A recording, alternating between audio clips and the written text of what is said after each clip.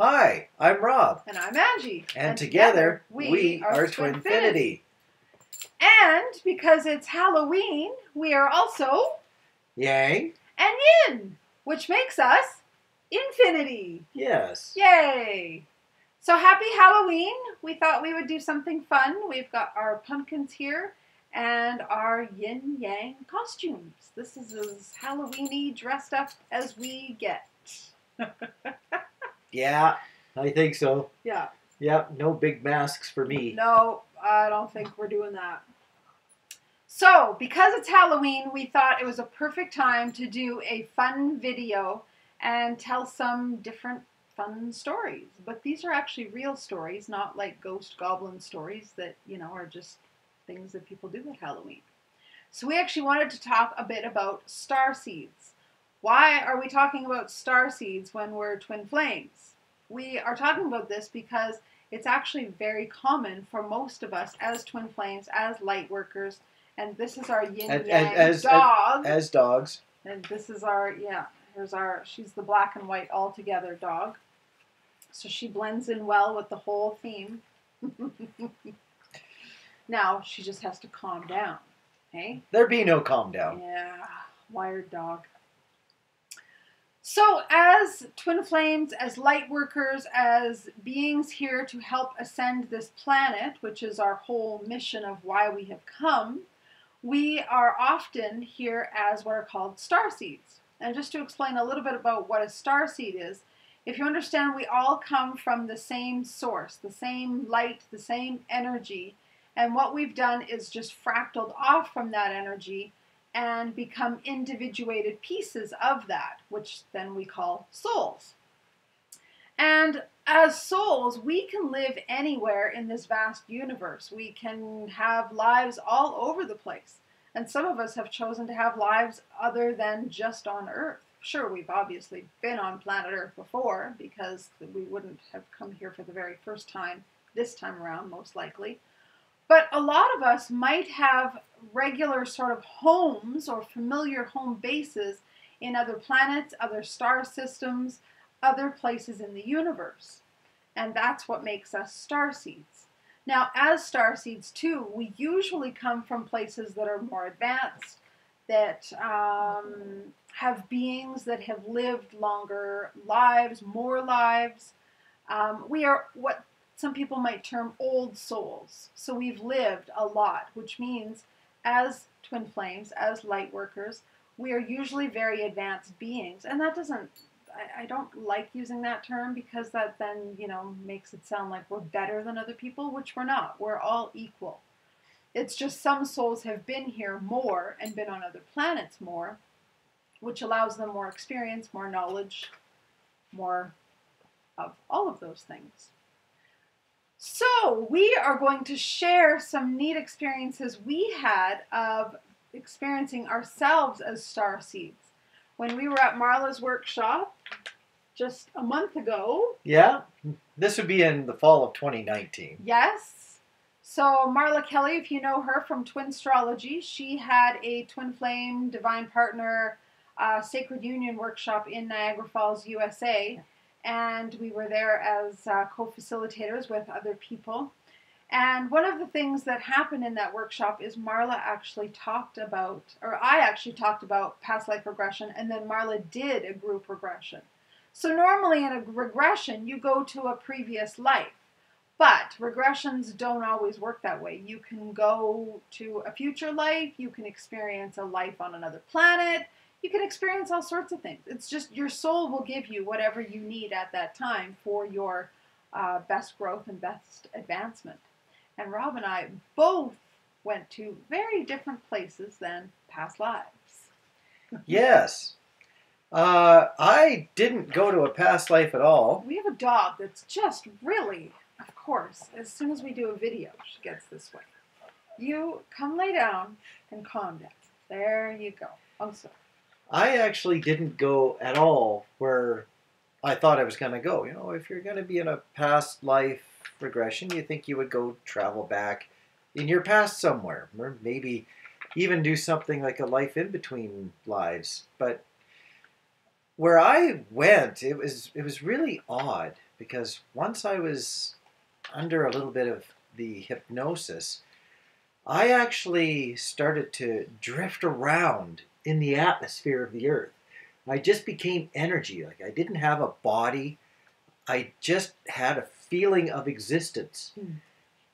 And then I went out to the edge of the atmosphere and I stayed there for just a few seconds. And then I started to zip away from Earth. And I went past the area where Mars could normally be in orbit, uh, went past Jupiter, and then I swung out past Saturn. And I hung out there for a few seconds. Uh, there seemed to be an asteroid belt right in that area. Seemed to be about the limit of where I wanted to go. And then I started to come back towards Earth, and I slowly did. And I was just looking about the solar system with kind of an amazement that you would have as if you were actually out there just looking around having a bit of a vacation.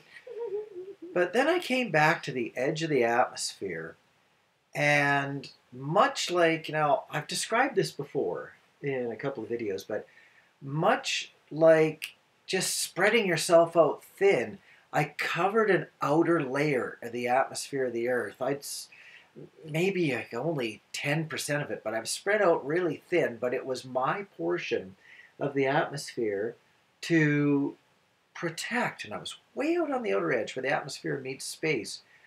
And I felt really comfortable there. In fact, I felt interlocked with what felt like other beings just like myself. Maybe it was other souls or other bits, but we were interlocked, sort of like when you shuffle a deck of cards together and you just have the edges together and, and you haven't it. and you haven't squished them all back together. They're just just touching edges all over the place, but the entire atmosphere of the Earth was covered by a whole group of us. Now it didn't feel like hundreds of us. It felt like maybe thirty or forty of us. That's all it took to do that. Hmm. But then I started to deform, sort of like a very tall, narrow funnel, or like you'd imagine a, a tornado cloud, even. And I stretched down towards the earth, and as Marla was facilitating this regression, she mentioned something about going to a cave, to to crystals, to a portion of where the crystal core would be of the earth. And instantly I was in a cave and there was a wall of crystal about, oh, I'd say maybe four feet long by two feet high. It glowed mostly white, but it had thousands of small points on it, much like a quartz crystal. If you've got a quartz cluster sitting on the edge of a window ledge or in a counter or wherever you would have one, it was very much like a rock like that, just tucked in the edge of the cave. And through me, tiny specks of light. Now, I don't know whether the light was information or other souls waiting to incarnate. I can't really say for sure. But tiny specks of light came zipping through me and then embedded into this giant crystal. And each speck of light had its own node on the crystal. And it, and it wasn't at the tip of each node or at or right close to the base. It was right in the middle. And that's where they went. But it was but it was through me that they facilitated traveling from the very far edge of the, of the Earth's atmosphere into a crystal in the or into their node of the crystal. And from there, everything seemed like it was my job to protect either the pathway or those specks of light or a bit of both. I was kind of like a guardian to that traveling portal for those specks of light. Then we were asked as a to imagine that there was a gift, a box, a box that was something that we could open it up. Inside of it would be a surprise of sorts. Well, my my little box, my little gift box, it was sort of like a jewelry box of sorts. It was it was fairly big. It was like a half a cubic foot. And when I opened it up, it hinged on the back and it was completely full of mirrors. And when I looked into it, I could see nothing. It was reflecting nothing. Not the cave, not an image of me or anything. I was just just light energy. All there was was white in the glass. And then we came out of our regression. And I totally had a feeling that as energy, I had experienced through what was supposed to be a past life regression of sorts. But I had experienced a previous time of when I was just energy and what I had done. It was a very, very familiar path to me. And what was so cool about Rob's experience is we were home from the workshop. I think it was almost a week later that you had finally processed enough of it that I could ask questions. And I asked you. And we were lying in bed one morning and you told me everything. And you even used the word, I felt like I was a guardian of the earth. Yes, very. It was totally my job. I was out there on the edge of the atmosphere, just making sure that what was coming through was correct. It was light. It was. It was nothing threatening. Although I, although I, I didn't perceive any danger, it was my job to facilitate the traveling of the little specks of light. And then what was so cool, and this is how divine this this path is, and this is why we're sharing this, is because you may have your own experiences either already or in the future and then you know us sharing will help you feel a little less crazy. Um, but you know how this path is so synchronistic. I go to work i log into my email and all of a sudden i see this email from pinterest that says um, i think it, it was talking about Sirians and being guardians of the earth and i'm like what so, first of all, we have already connected, I think about a year ago, with the fact that Rob feels very connected to being Sirian. But we've never done much research or looked No, into it or did- read about it. Yeah, the odd just- chat with people who are more knowledgeable in these bits than we are, and and when things come up, there's trends and traits and whatnot. It was like, oh, okay, it looks like I'm more Sirian than anything, and we just left it at that. Yeah, No, never no. really explored. No further research. No. So, of course, I mean, first of all, if you know anything about Pinterest, what it does is it'll email you with stuff that you've searched for or researched. I've never been on Pinterest looking for starseed information. I've been on there looking for wedding stuff when we were planning our wedding, and I go on there when I need new fingernail ideas for getting my nails painted.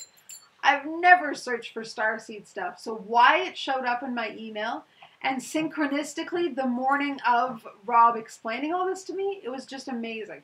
So, of course, I clicked on it and I read it, and it was just so much of what Rob was describing.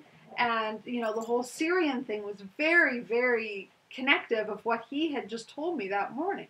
So it was just like, oh, wow, your Sirian self was out there floating around, Protecting my little bit of the atmosphere and doing Yep. my job. guarding your earth. Yeah. Looking after crystal homes. Yes. Yeah.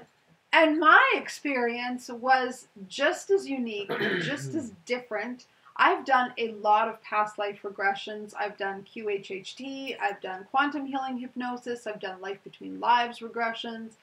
So I'm very comfortable with regression and able to just go into it no problem. But I've never in all of my regressions experienced anything like this. So when things first began, where Marla was guiding us through the regression, um, I started seeing myself as a blue being. And I had wings and I was flying, and I thought, wow, am I in New Earth? That's what I thought initially that I was, because it was just so pristine and beautiful. Um, there was no pollution or toxins or anything like that. The air was pure. There was gorgeous colors everywhere, and I was flying kind of like through a beautiful waterfall, and I just felt so free in my ability to fly, and it felt natural. It didn't feel like scary or anything like that. And then I landed on a on a big cliff, and um, often when you do a regression, the regression therapist will guide you to look down at your feet. So when I looked down at my feet, I noticed my feet were quite big. They were blue. And then I looked at my hands, and interestingly enough, I only had two fingers and a thumb. I didn't have like all of this, so it was just this. Um, and I was quite tall. I was bald, had no hair, and I had no nothing on my body. I had no clothes. And when I looked down, I didn't even have genitalia. Like I was completely androgynous. So it was just kind of strange. I was looking at myself going, What am I? This is weird. and thank goodness I've done enough regressions because when you're new to regression, oftentimes your left brain, your ego will be like, What's going on? I'm making this all up. None of this is true. I was able to let go of that and just surrender to the process and just explore it and go, okay, well, I have no idea what this is, but let's play. So, one of the things I even saw was um, a giant, giant leaf. Like it was huge. I, I can't even, you know, put it all on the screen here. And I could see that the, the veins in the leaf is where the sun would shine through, and that's how I got my energy. So I didn't eat food. I just got my energy from the sun. And it was odd, though, that it was shown to me that I got my energy through the leaf um, from the sun through the leaf rather than just the sun directly. I don't know if I could also get my energy directly from the sun, but it was just neat how I was shown the veins of the leaf, how the sun would shine through, and it was just so beautiful, like the little starbursts that would happen, and it would just fuel me. So um, there was more little things that happened, but nothing too significant to share at this point but it was just really, really neat. And the one thing also that was neat is through this, um, I kept hearing the word Andromeda. And I'd heard that word before, but I honestly could not have told you what it was. I couldn't have told you if it was a planet, a star system, a being. Uh, I had no idea. I, I couldn't have even hazard a guess if somebody before this experience had said, you know, tell me anything about Andromeda. I wouldn't know. So when we came out of the regression, Marla had us write down, and Rob and I both still have all of our notes. She had us write down everything that we experienced. So I'll just kind of read some of my stuff just to make sure I got it all. So I had written down that I was um, blue and that I was like a bird slash human. Uh, that it felt like it was a current alternate life that I was living. That I had wings and I was flying um, that I was a full blue being with two fingers and one thumb, and I was an androgynous. Oh, yes, and I lived in the trees. That was what was so neat. Those same leaves that I would get my energy from the sun shining through them, I would wrap myself in those, and that's how I would sleep. Um, very much like, um, what's that movie that we love? Avatar. Avatar. Yes. It felt very much Avatarian. Other than, you know, the avatars have stuff on their face, I didn't have any of that. I just was completely blue, no other colors, um, no hair anywhere on my, my body. Uh, yeah, and then I was saying the, the light in the veins of the leaves is my energy. I don't eat food.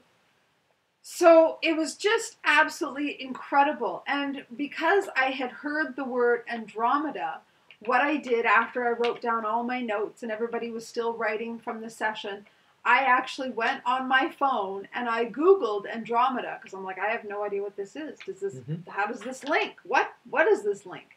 And I'm gonna actually just um, pull it up because I was fascinated what it said. So it says um, that Andromedans are beings that obviously live on Andromeda, and there are several different kinds. So some do have hair, some aren't blue, some are. There's there's different ones. And it said one of the races is seven to nine feet tall. They're winged humanoids existing in a higher dimension.